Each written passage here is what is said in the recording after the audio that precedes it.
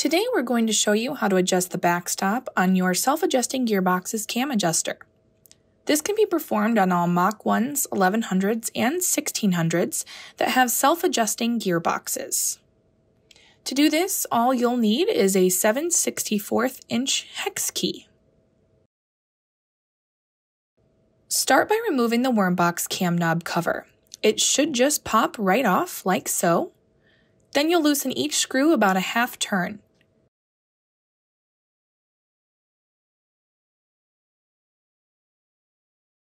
You're only loosening the screws just enough so that when you push the cam adjuster back and forth, it moves freely.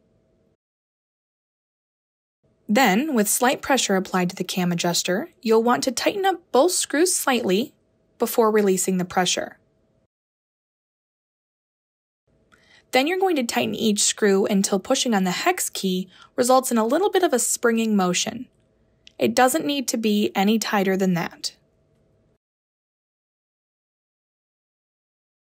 Now you can place your Wormbox cam knob cover back on and you're good to go. You'll know you did it right if you wiggle the gearbox assembly and it moves just a little. It's very slight and hard to capture on video, so we've shown it here on a 1600 for better contrast, but you only want it to move about 1 16th of an inch or so. If it moves more than 1 16th of an inch, you're going to want to go back and readjust it. As a final test, you'll want to disengage and re-engage your gears to ensure your cam adjuster has been properly adjusted. The cam knob should spring into place when it reaches the fully open position. You'll notice the cam knob does not rotate a full 180 degrees on this 1600. This is completely normal. The fully open position may have different placement on different mount models.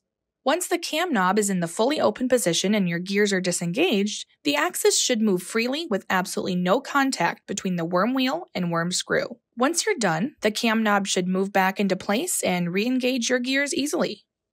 And that's it. Now you've adjusted the backstop on your self-adjusting gearbox's cam adjuster.